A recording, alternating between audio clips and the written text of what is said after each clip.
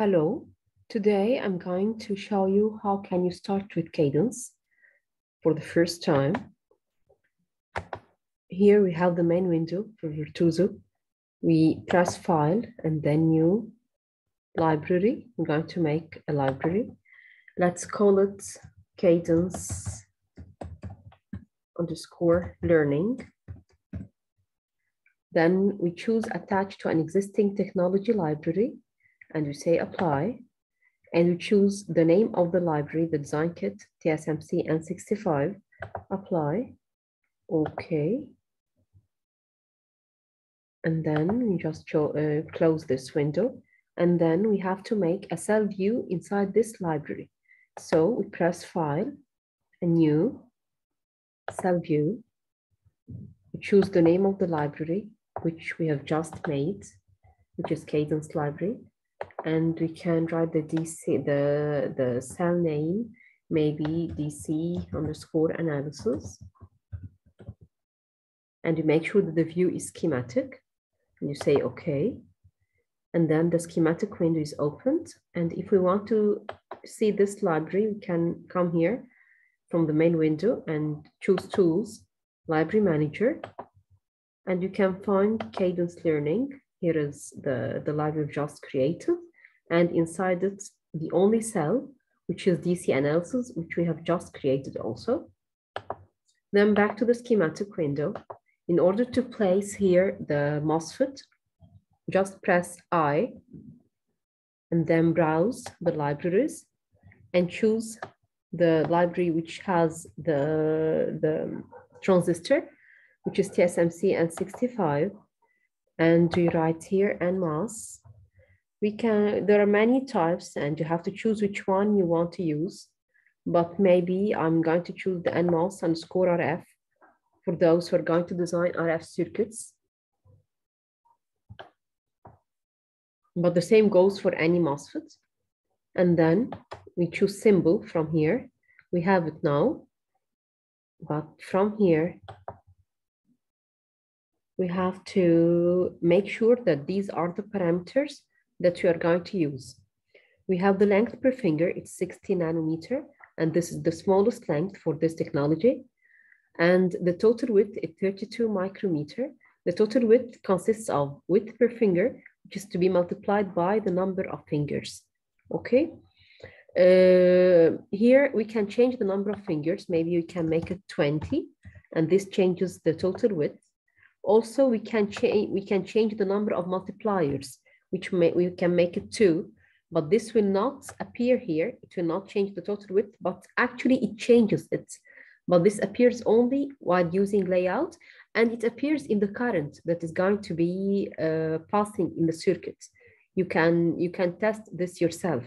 You can make it one multiplier and then during the analysis, you can see the amount of the current passing and then you can then make it two and then you can check the current once more. You will see that it has increased because actually the total width increased.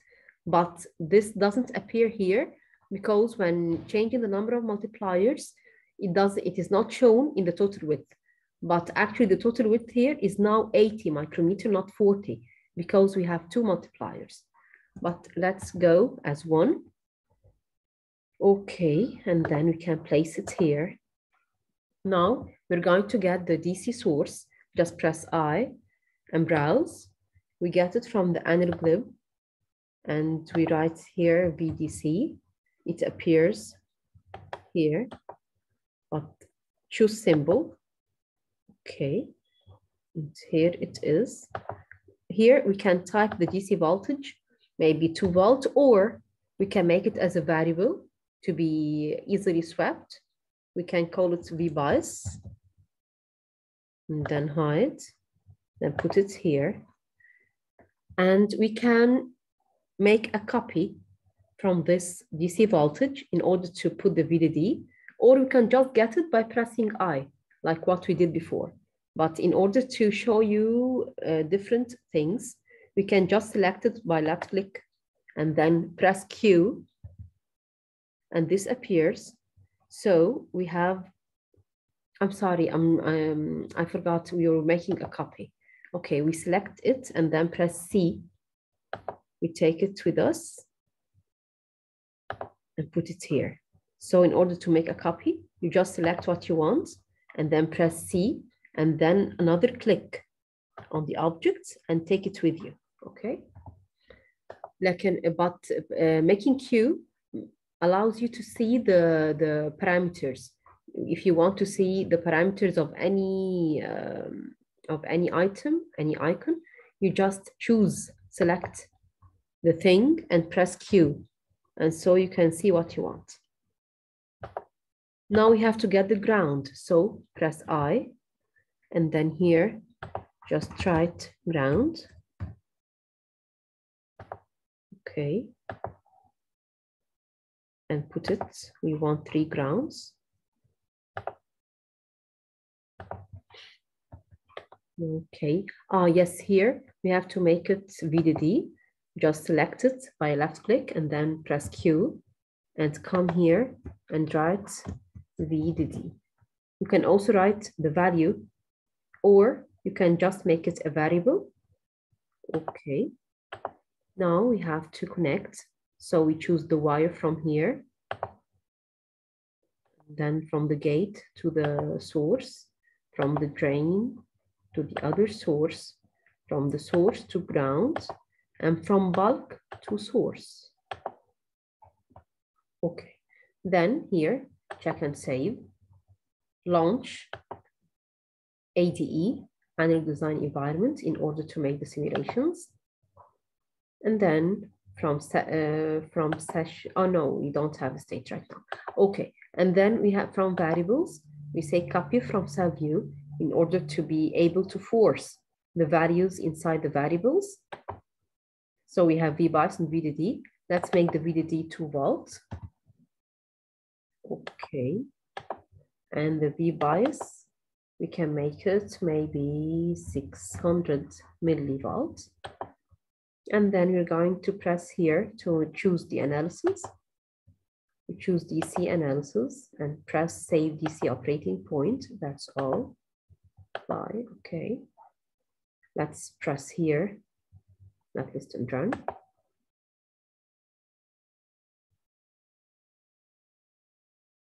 Okay, then from here, results, annotate DC operating points. You can see here that all the DC operating point is seen. The VGS is uh, 582 millivolt. uh, it's greater than V threshold. So we can say the transistor is on. VDS equal 1.9 volts and VDSAT, which is VGS minus V threshold, is 168 millivolt. And so we are now sure that, that the transistor is working in saturation as VDS is greater than VDSAT. Okay, the current, the DC current flowing is 15.67 milliampere. Okay, uh, as I was saying before, if we tried to change, let's see it. If we try to change here, let's, I selected it by left click now and press Q. And let's change the multiplier and make it two multipliers. Still, the total width is not changed, but actually it changed. But let's test this ourselves. Okay. Mm. Let's save, check and save. Every time you change something, you have to check and save and then run again. Let's see the, the current if it changes. Oh, the current is 31. It's almost doubled because we made the multipliers equal to. This means that we are we, as if we are using two of this MOSFET. It was 15 milliampere when the multiplier was one. Now it is 31 when the multi milliampere when the multiplier became two. So this was what I was telling you minutes ago, that the total width doesn't show us the change in multipliers, yet it is present. The actual width now is 80 micrometer. That's why the current is doubled. Okay, let's see another thing we have, we can see other things other than these parameters, like what? We can come here and just click, left click inside the, the screen in the schematic, and then right click, annotations, setup, and then choose the cell NMOS underscore RF. Okay, from here, he's showing us that he's showing us the ID, mm-hmm. VGS, VDS, V threshold, VDSAT. We can let him show another thing. Just press here and choose maybe the region. Okay, maybe R out, maybe G, VSB, maybe many things that can appear here. Okay, so maybe it's the region, apply. So the region appears here. Region two means saturation region. Okay, that's fine. We can also say, see, annotate DC node voltages.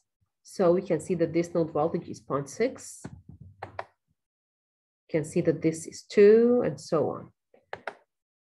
Okay, uh, what else? I want to show you how can we make a sweep. If we want, if we are making a design and we want to, we are not sure that we need to use V bias equals 600 millivolts. We, we want to know uh, a certain V bias that is corresponding to a certain VGS that we need. Uh, I know that here V bias equal VGS because it's just uh, this circuit, this simple circuit. But sometimes there are other things here and maybe there is a resistance here or something like that. So we can put a resistance. Okay, we can just delete this, delete, and you can move this here and then press I, get a resistance, just press here, it's one kilo, okay, it's here with us like that. The VGS is different from VGS here is different from the um, the V bias, and so run.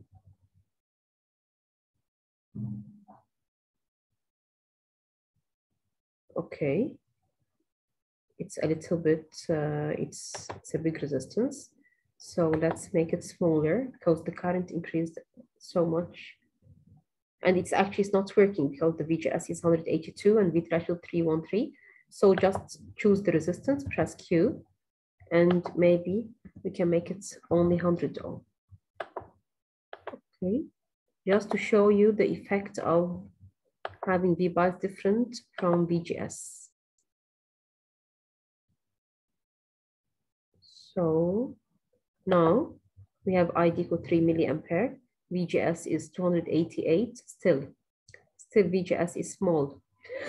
let's let's change uh, this V bias and make it one volt. And then run. Uh, here VGS is greater than V threshold, so it's on. VDS is greater than VDSAT, so it's in saturation. And even the region is region two, which is VDSAT. Okay, uh, and the current passing is 6.2 milliamp 6.2 milliampere. The voltage across the resistance is 0.6 volt, and the power um, 3.8 milliwatt. Okay, I just want you to know how can we sweep V bias and uh, see the effect of this sweep on maybe VGS and V threshold, maybe. Okay, let's see this. Uh, here from tools, parametric analysis, and then choose add variable V-bias. from uh, just maybe point uh, two to two volt. And the total steps they may be 20 or even 10 only. Then press here. Run. So he's sweeping making a sweep. Oh, now the result is ready, but we need to know how, how to plot VGS versus V bias or V threshold versus V bias. Any parameter, not only VGS or V threshold, any parameter related to the transistor. So from here, we can just get from tools, press calculator and choose operating points. This window appears, this small window, this one. So it's called lists. Okay, he's showing us many things. We just choose the MOSFET transistor and then get back this window and open the list this time. We see, we can see all the parameters related to this transistor. So maybe you can choose VGS and press OK. And then open the calculator again. You will see that the name of the transistor is written together with VGS. Just press here. Here, here we are. He's introducing a graph where the y-axis has VGS and the x-axis has the V-bias, which is swept. And we can also draw V-threshold versus V-bias on the same graph if we want. So get back to the ADE. And from here, plotting mode, make it append so that you can draw another graph and come back here to the calculator, press operating point again, you will see the same. But already I think the instance, no, it's not selected. So select it again and get the window again. Press list, you will find the threshold. Okay, and get back to the calculator. You'll find that it is changed now. It's written V threshold. Just press here and the other sweep and the other graph is drawn on the same window. So we have this yellow one showing the change of V threshold relative to the change in V bias. Also the red one showing the change of VGS relative to the change of V bias. To see any value, we can press just V. Okay, so we have a cursor moving, can move it anywhere and you can know the values of V bias corresponding to it, the, the V threshold and the VGS values corresponding to this, the, the, this value. And for example, this is 1.1 volt. Uh, and when V basic 1.1 volt, you can see that V threshold will be 337 millivolt and VGS is 396 millivolt. Okay, I hope this video was useful for you. Um, I really like to know your feedback. Thank you so much. Uh, bye bye.